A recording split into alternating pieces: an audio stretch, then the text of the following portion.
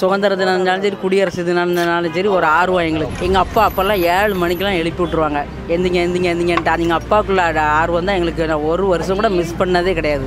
அதாவது எனக்கு பிடிச்ச ரெண்டு சுதந்திர போராட்ட வீரர்கள் பார்த்தீங்கன்னா மாவீரன் சுந்தரலிங்கனார். அவர் பார்த்தீங்கன்னா உலகத்தின் முதல் தற்கொலைப்படை தாக்குதல் நடந்தது நம்ம நெல்லை மாவட்டத்தில் தான். நம்ம டிஸ்ட்ரிக்ட் சுதந்திர போராட்ட வீரர் நம்ம நாட்டு சுதந்திர வீரர்களையும் அடிக்கடி நாங்கள் பாடங்கள் நடத்தும் போதும் சரி மற்ற டைமும் நாங்கள் ஞாபகப்படுத்திட்டே தான் இருப்போம் நம்ம வந்து பெருமையாக இருக்கணும்னு குழந்தைங்களுக்கு சொல்லி கொடுக்குறோம்.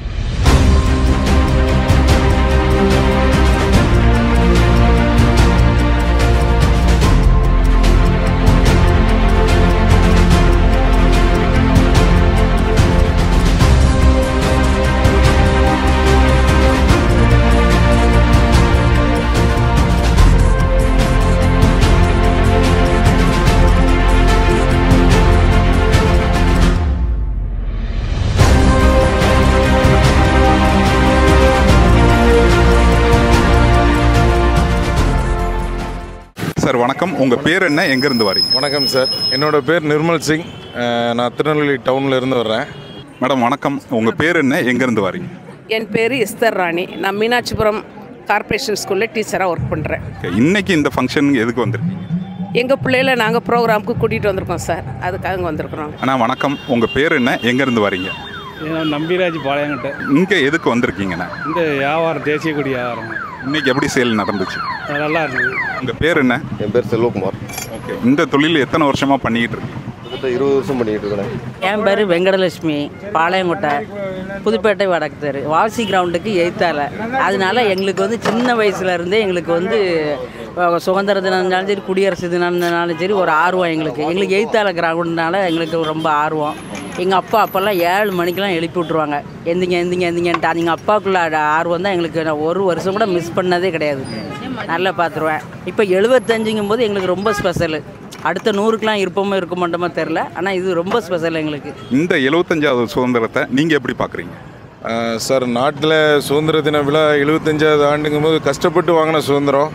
நம்ம நாட்டில் நிறைய முன்னோர்கள் நம்ம நம்ம அந்த கஷ்டத்தை படலை. முன்னோர்கள் பட்ட கஷ்டம். அதை ஒரு நினைவு கூறுத விதமாக இந்த ஃபங்க்ஷனை நான் பார்க்குறேன். அவங்க பட்ட கஷ்டங்களெல்லாம் நம்ம தலைமுறைகள் இனி வர தலைமுறைகள் படக்கூடாது அப்படிங்கிறதுக்காக மீண்டும் ஒரு அடிமைத்தனத்துக்குள்ளே போகக்கூடாது அப்படிங்கிறதுனால நம்ம பார்க்குறோம். ஸோ இந்த சுதந்திர தினத்தில் நம்ம என்ன கற்றுக்கிறணும் அப்படின்னா ஒருத்தருக்கு ஒருத்தர் சகோதரத்துவமாக இருக்கணும். நம்ம நாட்டிலே நிறைய இருக்கக்கூடிய பிரச்சனைகள்லாம் இல்லாத அளவுக்கு எல்லாருக்கும் ஒரு செல்ஃப் டிசிப்ளின் இருக்கணும் அப்படிங்கிறத என்னோட தாழ்மையான கருத்தை. எழுபத்தஞ்சு வருஷ சுதந்திரத்தை நீங்கள் எப்படி பார்க்குறீங்க? ரொம்ப சந்தோஷமாக கடவுள் ஆயுசுனால எங்களுக்கு தந்திருக்கிறாரு அதை பார்க்கறதுக்கு. அதனால் ரொம்ப சந்தோஷமாக இருக்கிறோம் நாங்கள் இந்த எழுபத்தஞ்சு வருஷத்தில் நம்ம சுதந்திரம் அடைஞ்சிட்டோமா? வளர்ச்சி பாதைக்கு போயிருக்கோமா? உங்கள் கருத்து உங்கள் பார்வையில்? வளர்ச்சி என்ன? மக்கள் சொல்கிறது தான் கருத்து. வேறு நம்ம சொல்கிறதுக்கு இன்னும் உங்களுக்கு நாட்டு நிலவரங்கள் தெரியும்ல இப்போதைக்கு? எப்படி இருக்குன்னு? முன்னால் இருந்ததுக்கும் இப்போ இருக்கிறதுக்கும் வித்தியாசம் இருக்குல்ல? இந்த சுதந்திரத்தில் இந்தியா வந்து வளர்ச்சி அடைஞ்சிட்டுன்னு பார்க்குறீங்களா? இல்லை இன்னும் வளரணும்னு பார்க்குறீங்க இல்லை இன்னும் வளர்ச்சி அடைஞ்சால் நல்லது தான் வளர்ச்சி அடைஞ்சிருக்கு. இன்னும் மேற்கொண்டு வளர்ந்தால் நமக்கு நல்லது தானே? இந்த எழுபத்தஞ்சாவது வருஷ சுதந்திரத்தை நீங்கள் எப்படி பார்க்குறீங்க? நல்லா எழுச்சியாக இருக்குது நல்லா இருக்கு. மக்களுக்கு அதை பற்றின விழிப்புணர்வு இருக்கா? இல்லை சும்மா டைம் பாஸுக்கு வந்துட்டு போகிறாங்க இல்லை நிறைய இப்போ இருக்குது இருக்குது நான் ஒரு பத்து வருஷமாக அந்த வியாபாரம் பார்க்கேன் நம்ம வாவசி ரோட்டில் வந்து இன்னும் ஃபேமஸாக இருக்கும்.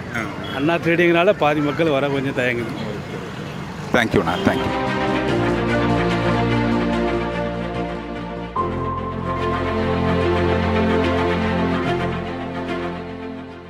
உண்மையிலேயே நம்ம சுதந்திரம் அடைஞ்சிட்டோம்னு நினைக்கிறீங்களா? ஆமாம் ஆமாம் உண்மையிலே சுதந்திரம் அடைஞ்சிட்டோம். அடைய போய் தான் நம்ம இங்கே வர முடியுது சார் அதுக்காக தான். உங்களுக்கு பிடிச்ச ரெண்டு சுதந்திர போராட்ட வீரர்கள் யார்? வேவு சிதம்பரனார். திலகர் கப்பலோட்டிய சிதம்பரம் பிள்ளை ரொம்ப பிடிக்கும். நம்ம நம்ம மாவட்டத்தை சேர்ந்தவர். அதனால் அவர் அடிக்கடி நாங்கள் நினைப்போம். ரொம்ப பெருமையாகவும் இருக்குது திருநெல்வேலி மாவட்டத்தை சேர்ந்தவர்னால அடிக்கடி நாங்கள் நினச்சிட்டே இருப்போம் அவரை.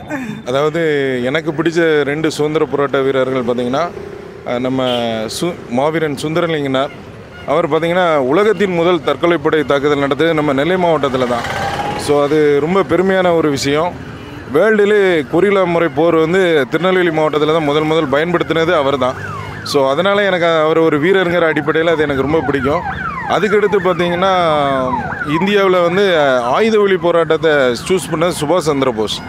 அகிம்சையால் மட்டும்தான் நம்ம நாட்டுக்கு சுதந்திரம் கிடைச்சதுங்கிறத கன்ஃபார்மாக சொல்ல முடியாது.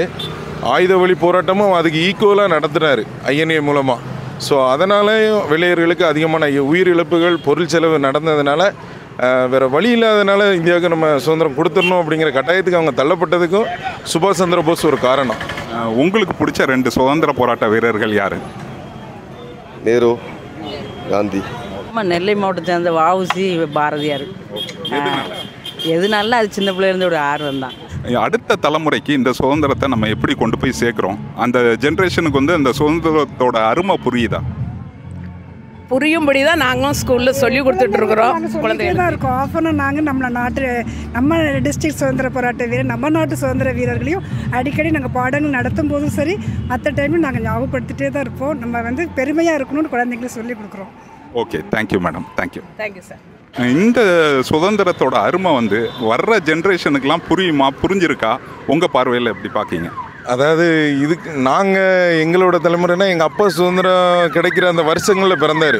நாற்பத்தேழு நாற்பத்தெட்டு வாக்கில் எங்கள் அப்பா பிறந்திருந்தாங்க. ஸோ அவங்க கூட அந்த கஷ்டத்தை உணர்ந்திருக்க மாட்டாங்க.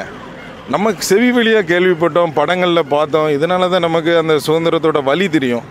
ஸோ நம்ம படிக்க கா காலகட்டங்களில் தேசிய உணர்வு அந்த தேசிய கீதத்துக்கு மரியாதை கொடுக்கறதெல்லாம் சொல்லிக் கொடுக்கக்கூடிய ஆசிரியர்கள் அதிகமாக இருந்தாங்க.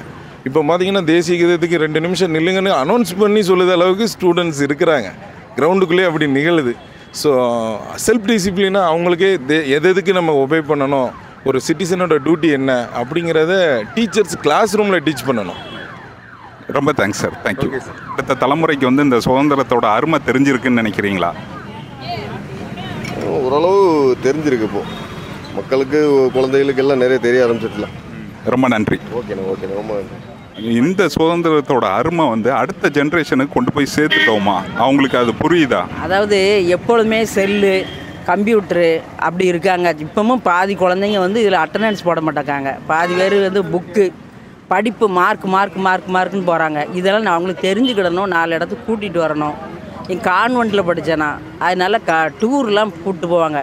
நாலு இடம் சுற்றி பார்க்கணும். அந்த இந்த ஜெனரேஷன் வந்து அது தெரிய மாட்டேங்க அவங்களுக்கு. அதை நம்ம எப்படி வளர்க்கலாம்? எப்படி அவங்களுக்கு அந்த சுதந்திரத்தோட ஃப்ரீடமாக விட்டுறணும். ஃப்ரீடமாக கொஞ்சம் எழுபத்தஞ்சி பர்சன்டேஜ் ஒரு ஃப்ரீடமாக விடணும்.